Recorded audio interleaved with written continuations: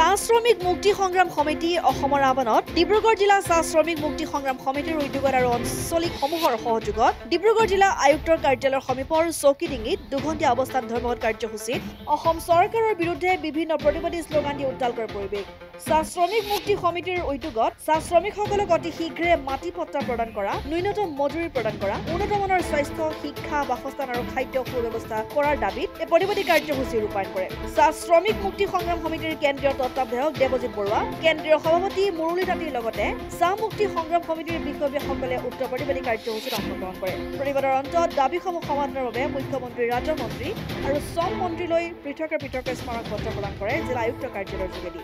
আজি আমি চাবলৈ যাওঁ তেতিয়াহ'লে আমি ভোট দি মন্ত্ৰী কোৱা মন্ত্ৰীসকলে অসমৰ মাটি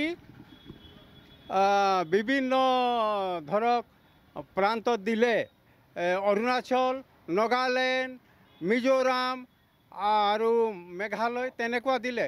অসমৰ মাটি আঠ লাখ হেক্টৰতকৈ আৰু বেছি আছিল। কিন্তু এতিয়া বৰ্তমান সাত লাখ পঁচিছ হাজাৰ পাঁচ হেক্টৰ মাটি আছে। তথাপি চাহ শ্ৰমিকক এক বিঘা মাটি দিবলৈ চৰকাৰে সাধ্য নাই।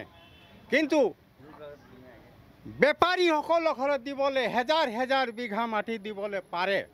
কিন্তু আমি আমি যে আহিছোঁ অসমত গছৰ গুৰিৰ পৰা আমাক কোনো ধৰি অনা নাই। আমাৰ দুই চাৰি বিঘা মাটি আছিলে আৰু তাত মানে জুপুৰি ঘৰ এটা আছিলে। অসমত অহাৰ কাৰণে জুপুৰিয়ে গ'ল মাটিও গ'ল। কিন্তু আমি যদি ইয়াত মাটি নাপাম আৰু মাটি এক বিঘা যাৰ আছে তাৰ পট্টা নাই পট্টাৰ মাটি নাপাওঁ তেতিয়াহ'লে আমি আমেৰিকা যাম নেকি মাটি বিচাৰিবলৈ?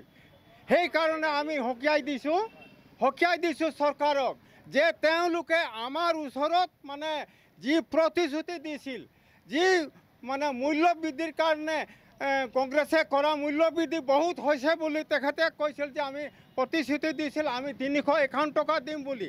তিনিশ একাৱন্ন টকাও মানে নিম্নতম মজুৰিত নপৰে।